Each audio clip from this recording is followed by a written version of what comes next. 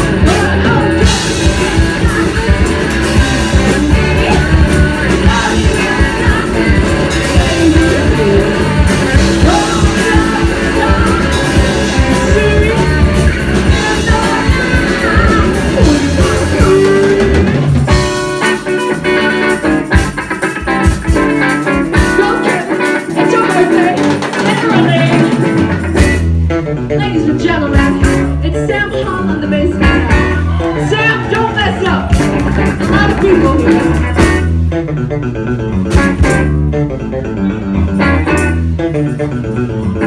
A lot of people here.